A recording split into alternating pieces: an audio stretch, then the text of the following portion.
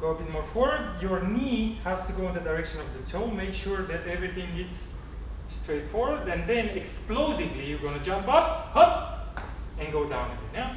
Hold it, and up, and go down. Yeah? This is the whole position. And hold, and straight, and down. Yeah? Keeping your balance. Yeah? And up,